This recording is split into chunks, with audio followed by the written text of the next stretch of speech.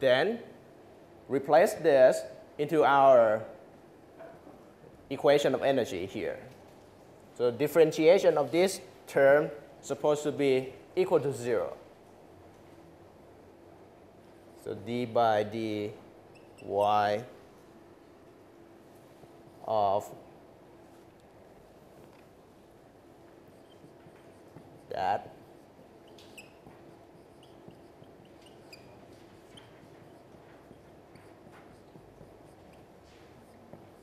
is equal to 0.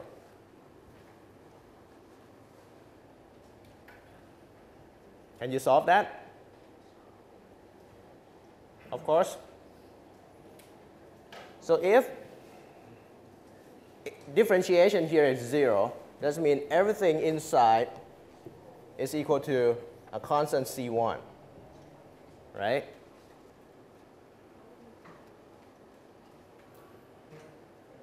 And to be easy for integration, then I'm going to change dt here to be d of t minus t0.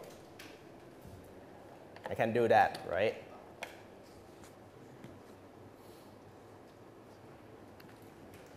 You should also notice that NAY here now is a constant. It is constant according to our equation of continuity. On Wednesday, we already determined that flux of A is constant along y direction. Just like flux of B and By is zero. They are all zero. They are constant. All right. So this is ordinary differential equation. It can be written in form of dy by dx plus function of x times y equal to another function of x.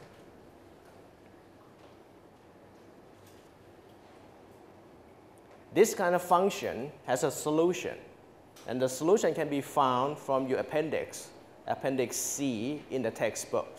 So as long as you can rearrange the ordinary differential equation to get into this form, you will definitely get the solution. Okay? So in this case, if you compare between these two equations, you get that function of x here, function fx is minus nay cp of a over k, right? If you divide minus k from here to there, you get fx to be this number. Cos y here turns to be temperature. And x in this case is y, a little bit confusing.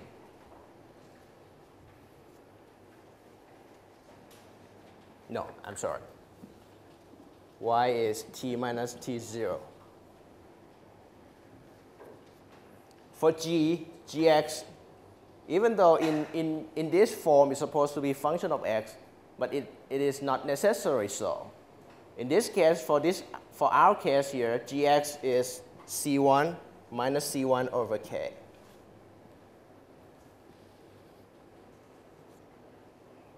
Okay? So if you can rearrange your equation to get this form, the solution for this particular form of ordinary differential equation would be in terms of this equation.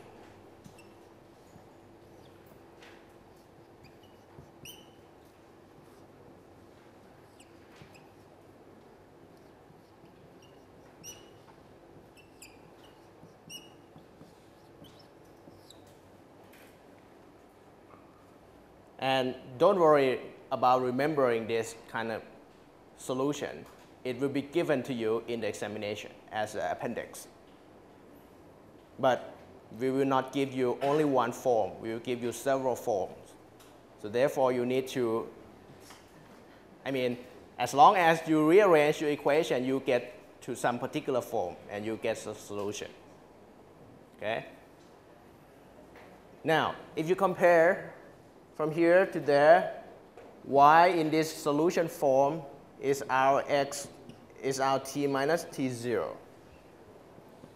to the exponential of integral f dx. Our f is this form, right? Minus up front and minus here in f cancel out. So you have integral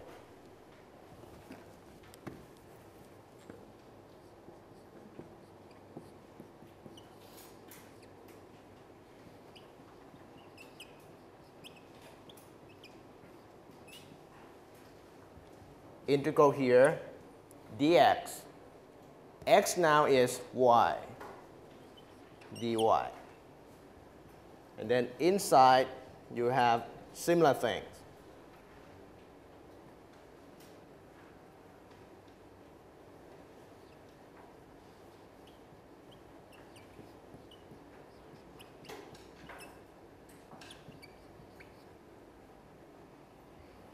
times minus C1 over K dy plus C2.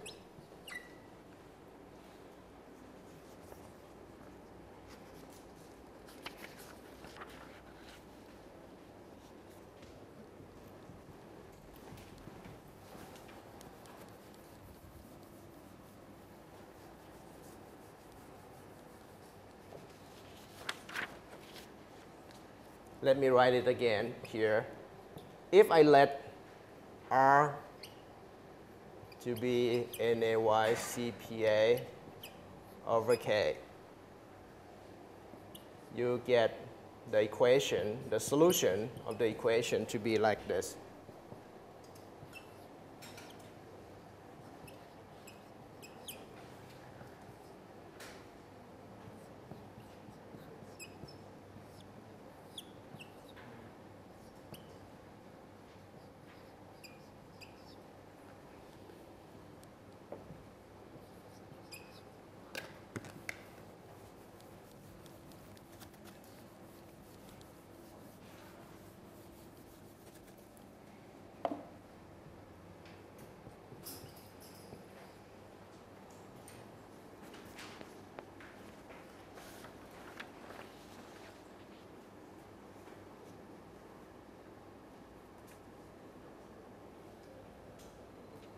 Okay? Keep in mind that R here is consisting of three terms, flux, Cp, K. Cp and K are constant for sure. But flux here is also constant. This flux is this one, indeed. It's a lot of things. But everything here is constant. So it doesn't matter how many terms you have you can treat it as a constant. Okay? So R here is constant. Integral, exponential integral R dy, you get E R, e to the power of Ry, right? So that would give you e to the power of Ry. In here, keep C1 over K like this. This term, when you integrate it, you get minus ry as a power of exponential here. And then you integral e to the power minus ry, you get e to the minus to the power of minus ry back over minus r, right? And then C2. Then I can multiply the first term into the parenthesis, and you get two terms combined.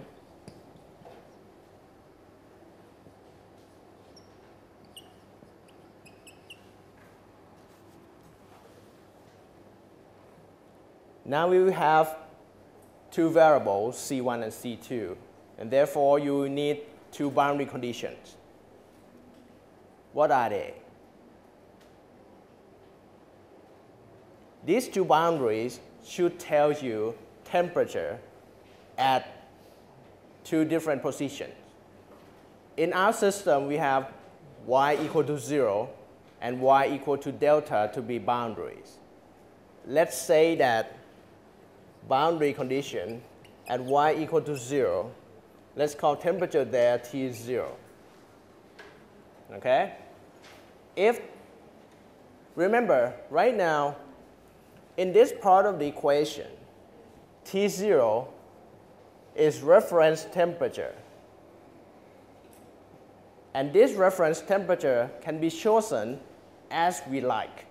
We can choose it to be zero degree. We can choose it to be room temperature, right? But in this case, I'm going to choose this T0 to be temperature of the wall. So that when I have y equal to 0 as our boundary, temperature of the fluid supposed to be equal to temperature to the wall. That temperature supposed to cancel out, give 0 here. It will be easier for us to do so. Okay? So in this case, you will get 0 equal to C1 over KR plus C2 e to the power of 0, you get C2. Another boundary condition is at y equal to delta, t equal to t delta. And then you get t delta subtracted by t0 equal to c1 over kr plus c2 e to the power of r delta.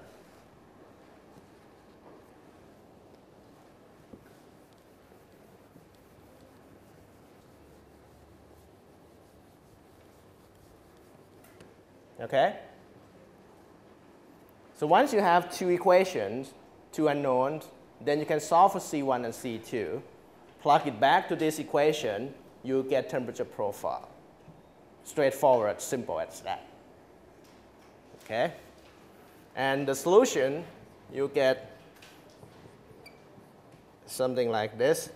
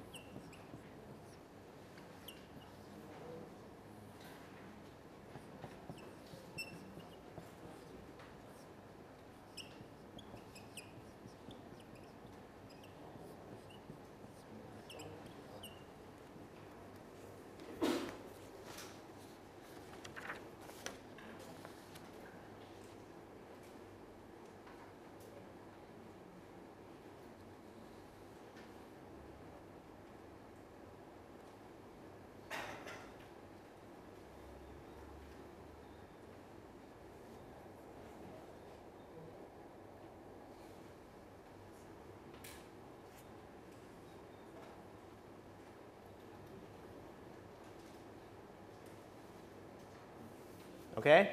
Any question? You should see or you should notice from here, this is very obvious, that the result of the, the temperature profile here is nonlinear. Can you see that? It is so obvious, right? This is nonlinear temperature profile. And the term that makes everything nonlinear is this NA as long as if the flux, the mass flux is zero, if you have only one single species, there will be no diffusion. If there's no diffusion, Na becomes zero. So if Na is zero, this term becomes what? 1, right? So you have 1 minus y and 1 minus delta, and then everything turns to be linear. So as I said earlier, the movement of the molecules by diffusive energy transport makes the temperature profile nonlinear.